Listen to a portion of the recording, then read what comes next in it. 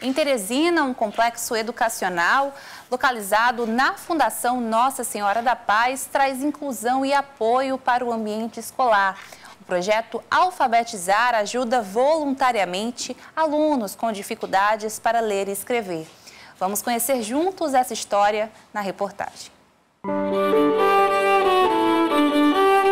Em cada rosto, um olhar atento as brincadeiras ficam de lado e a atenção em especial é para a professora na sala de aula, pois é neste complexo educacional localizado na zona sul de Teresina, onde o trabalho de inclusão social na sala de aula tem um significado importante. Independente da classe social, acolher e dar possibilidades para as crianças e adolescentes é um direito garantido na Constituição. O trabalho aqui é voltado para os alunos que, de certa forma, tenham dificuldades no momento da leitura e da escrita. Com o projeto Alfabetizar para Incluir, alunos de Teresina, principalmente das zonas periféricas da capital, estão desenvolvendo melhor a escrita e a leitura. Este trabalho hoje tem uma responsável, a Alessandra Carla. Ela é técnica de enfermagem e faz parte do apoio de inclusão social da escola.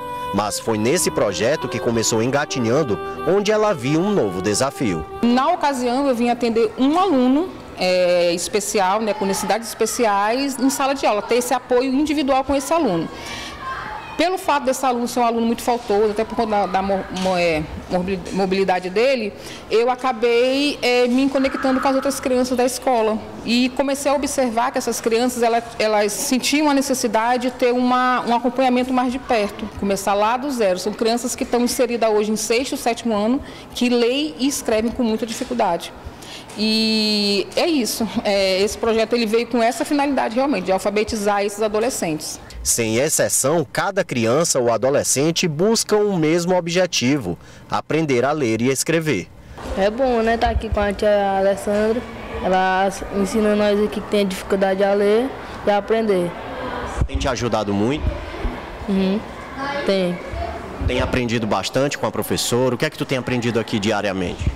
Aprender a ler, escrever, aprender a montar uma palavra, até tudo que nós mundo que é as tarefas. É muito importante porque tem gente que não consegue ler e escrever. Aí tem como nós aprender e a ler e escrever, mesmo assim que ele consegue, mas consegue ler.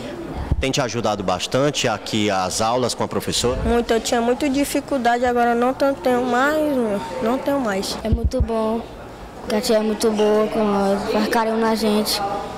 E aprendemos a ler assim. Você acha importante? Acho. Sabe que é importante para o futuro também. É, também. É nesta sala de aula onde o trabalho de inclusão voltado para crianças e adolescentes acontece. Qualquer instituição de ensino, seja pública ou privada, tem a obrigatoriedade de acolher e incluir. É, hoje a gente atende por volta de 30 crianças, que elas intercalam entre o horário de sala de aula e o horário do projeto. Essa sala, inclusive, foi criada totalmente para poder apoiar esse projeto e eu queria já aqui de antemão já é, agradecer à direção da escola, que apoia com todo carinho, com toda humanidade, inclusive, porque é um olhar que tem que ter muito diferenciado para essas crianças. E a gente já vê, sim, frutos, tanto na parte de leitura escrita, como na parte social dessas crianças, que é muito trabalhado nessa sala de aula também. Aqui a gente não aprende só a ler e escrever, aqui a gente aprende a ter disciplina, a ter respeito, a ter cuidado com o outro. Olha, vou ser sincera, são 30 com uma fila de espera gigante, porque todo o tempo é muito satisfatório, inclusive, eu, eu sou barrada nos corredores por, outros alunos que pedem muito para estar tá dentro do projeto, para poder estar inserido nesse contexto de começarem a aprender a ler e escrever.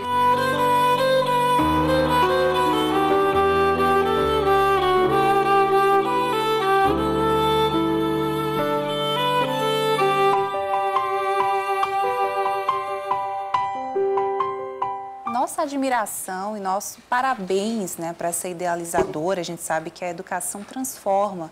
Muitas vezes são crianças e adolescentes que até correm o risco, Pedro, de deixar a escola por uma questão de autoestima, por uma questão de não acreditar em si que conseguem. E essa pessoa, essa grande mulher, está aí né, no contraturno, dedicando algo tão valioso que é o seu tempo de vida para transformar a realidade. Saiba que você tem a nossa admiração. Nosso respeito.